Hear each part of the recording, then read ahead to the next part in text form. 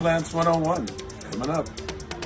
Small, medium, large. Look down here, you can see the projection. Large is extra projection, this is extra large. This is kind of medium large and small. Small I've been doing a lot lately because it gives nice projection and it's also smaller width for people with kind of a small width butt.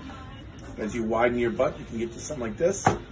And of course, a small butt that needs a lot of projection, they make this specially for that. It's got the same width as the small, but it has a little bit more projection. There you go. Butt Implants 101.